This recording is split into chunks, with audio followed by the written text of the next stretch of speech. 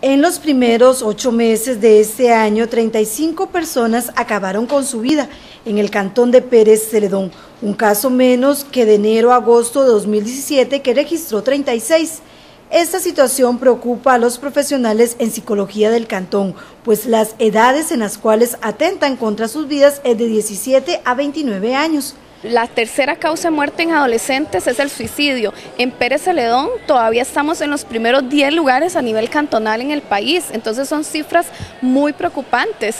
Eh, este año lo que se disminuyó fue una persona en estadísticas, que lo podemos ver como un avance, pero detrás de ese número tenemos la ideación suicida, que es a lo que le queremos entrar fuertemente, ¿verdad? La parte preventiva, la parte de enseñarle a las personas que siempre hay otras opciones y darles acompañamiento.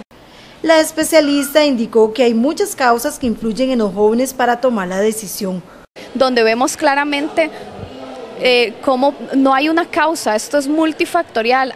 Hay muchas causas y una de esas son los problemas económicos, el desempleo. Vemos que es una población bastante activa, 17 a 29 años son las, las poblaciones de mayor producción, pero son las poblaciones que más se están matando.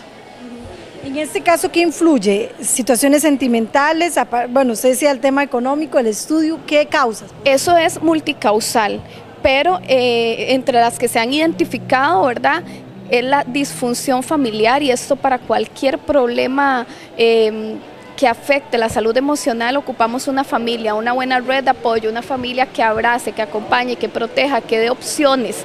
Eh, la parte económica, las relaciones de pareja eh, y la falta de habilidades de enfrentamiento hacia los obstáculos de la vida. Cada vez tenemos más generaciones con poca tolerancia a la frustración y sin habilidades para enfrentarse a los problemas cotidianos. Otro aspecto que preocupa es que las mujeres intentan más en quitarse la vida, pero son los hombres quienes buscan medidas más drásticas. Tres hombres por una mujer. Lo que pasa es que en las mujeres hay más intentos.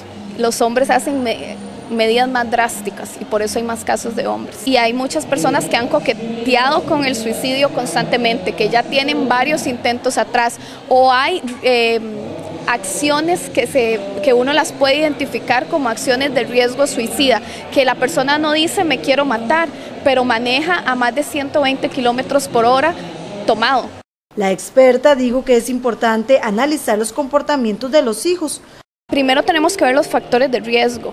Entonces, en los factores de riesgo es si uno como familia no hace más de cuatro comidas diarias juntos, sin televisión, sin pantallas, tenemos un primer factor de riesgo. Si no nos hablamos, si no sabemos qué pasó con nuestros hijos en la escuela, en el colegio, tenemos un segundo factor de riesgo. Si hay violencia intrafamiliar, si no tenemos una comunicación directa con el centro educativo, si no sabemos quiénes son los amigos de nuestros hijos, todo eso son problemas de comunicación y problemas de relaciones familiares.